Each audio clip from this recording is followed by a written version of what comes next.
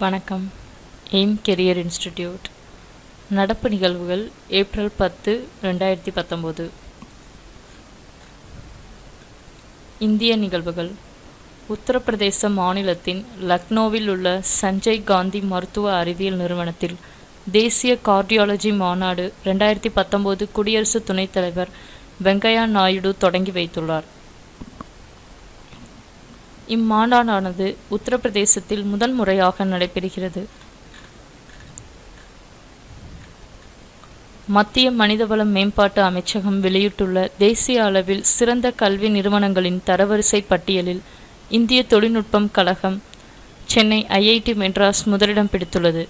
இந்திய அறிவியல் கழகம் பெங்களூர் ஐஏஎஸ்சி பெங்களூர் இரண்டாம் இடம் பிடித்துள்ளது. மேலாண்மை கல்வி நிறுவனங்களின் தரவரிசை பட்டியலில் இந்திய மேலாண்மை நிறுவனம் பெங்களூர் முதலிடம் பிடித்துள்ளது. பல்கலைக்கழகம் தரவரிசை பட்டியலில் இந்திய அறிவியல் கழகம் பெங்களூர் முதலிடம் பிடித்துள்ளது. நாகாலாந்தில் உள்ள கேன்யாக் இனத்தைச் சேர்ந்த ஐயாயிரம் பெண்கள் தங்களின் பாரம்பரிய நடனமாடி ஆவலிங் மன்யூ திருவிழாவில் உலக சாதனை படைத்துள்ளனர். இவ்விழாவானது ஏப்ரல் ஒன்று முதல் மூன்று வரை நாகாலாந்தில் கொண்டாடப்படுகிறது.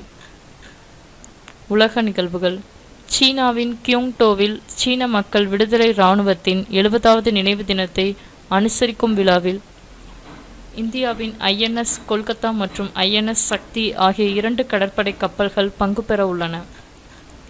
விளையாட்டு நிகழ்வுகள். மெக்சிகோவின் மாண்டெட்ரி நகரில் நடைபெற்ற மாண்டெர்சி ஓபன் சர்வதேச டென்னிஸ் போட்டி டூ தௌசண்ட் நைன்டீன் ரெண்டாயிரத்தி பத்தொம்போதில் பெண்கள் ஒற்றையர் பிரிவில் ஸ்பெயினின் கார்பின் மு முகுருஜா முக்குருஜா பெலாரஸ். நாட்டின் விக்டோரியா அசரன்காவை வீழ்த்தி சாம்பியன் பட்டம் வென்றுள்ளார். அறிவியல் மற்றும் தொழில்நுட்பம்.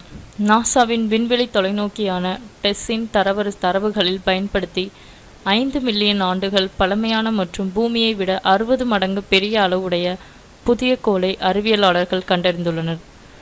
டிஓஐ ஆயிரத்தி தொள்ளாயிரத்தி எழுபது என்று இந்த கோள் அறியப்படுகிறது.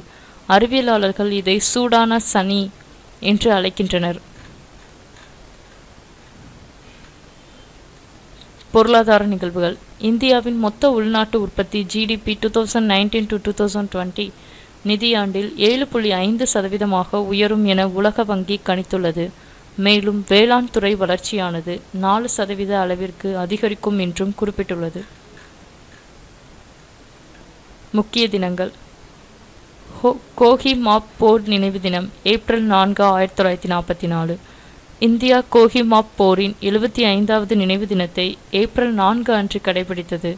இரண்டாம் உலகப் போரின் போது ஆயிரத்தி தொள்ளாயிரத்தி நாற்பத்தி நாலாம் ஆண்டில் நடத்தப்பட்ட ஆபரேஷன் சியின் திருப்பு முனையாக கொஹிமாவில் நடைபெற்ற இந்த போரானது கிழக்கின் ஸ்டாலின் கிரேட் என்று அழைக்கப்படுகிறது.